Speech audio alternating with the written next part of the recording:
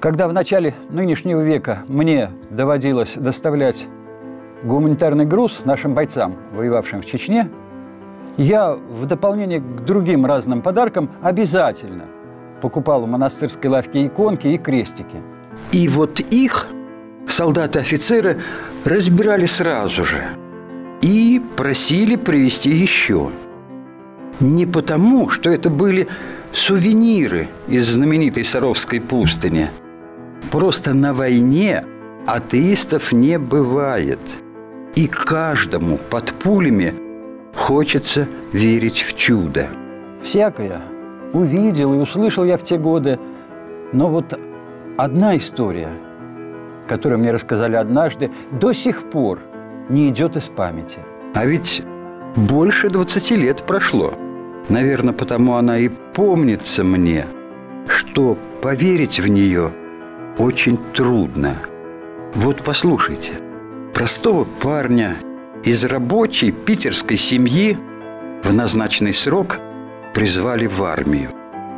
Вроде бы рядовое событие, какое случается в каждой третьей семье нашей необъятной страны.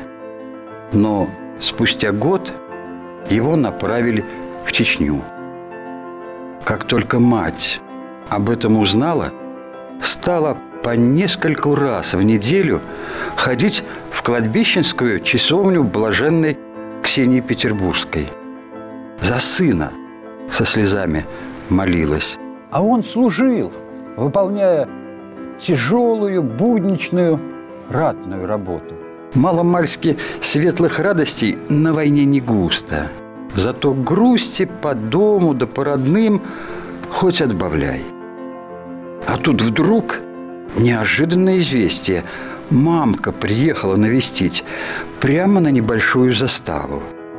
Командир оказался человеком душевным, отпустил сына на полдня в часть пообщаться с самым родным человеком – те и устроили себе праздник, сидели на скамеечке, смотрели на далекие синие горы и говорили, не наговорились. Потом сын проводил мать к вертолету.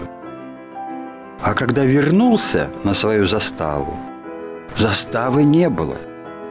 Оказалось, что в его отсутствие бандиты внезапно напали на нее – и всех перебили. Дослуживать парня перевели в другую часть. А вскоре вот и он, долгожданный дембель. Вернулся солдат домой, в любимый город. Как положено, стол накрыли, родню да друзей позвали. И вот когда все изрядно выпили, паренек и признался мамке. Вот если бы ты тогда не приехала – не сидеть мне с вами за этим столом. Мать застыла, пристально посмотрела на повзрослевшего сына, не лишнее ли выпил, не крыша ли поехала от увиденных в его-то годы смертей. А потом, продолжая глядеть ему в глаза, тихонько промолвила – что ты, сынок? Я к тебе туда не приезжала. Да и кто ж меня пустил бы туда? Было это или не было, я не знаю. И не заставляю вас поверить. Просто пересказал то, что услышал. А если это и было, никто и никогда не узнает, кто же приезжал к сыну в облике мамы – в минуту смертельной опасности для него. Не святая ли Ксения услышала материнскую молитву, что с дна моря достанет и из огня спасет?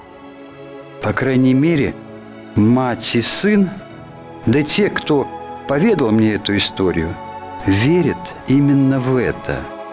И здесь не следует ерничать, нельзя смеяться над тем, где есть тайна – и не надо пытаться найти какое-то рациональное объяснение случившемуся. Тут проза и какие-то прагматичные рассуждения неуместны. Тут логичнее сердечная песня.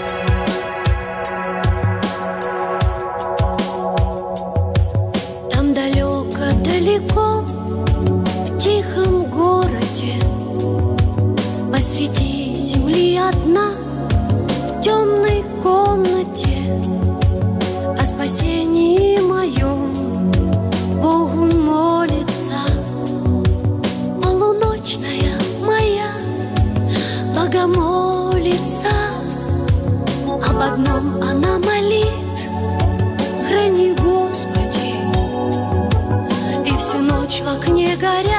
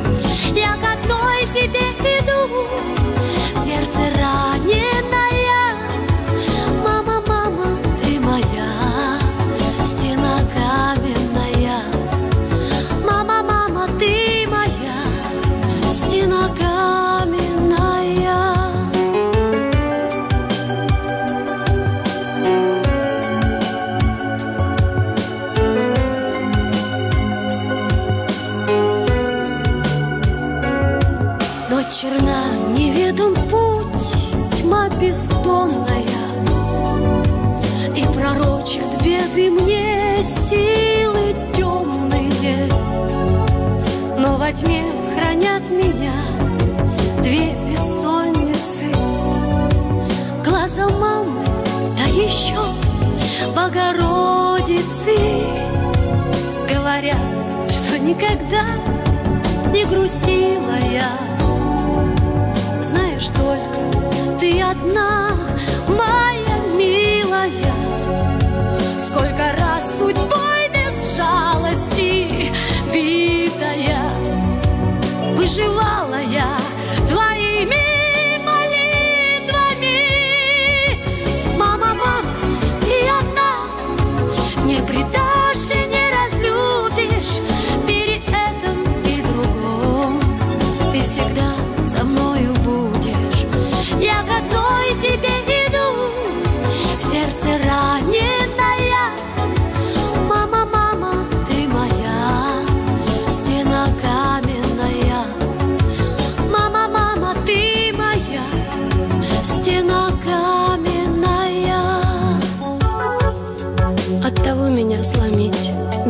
могли.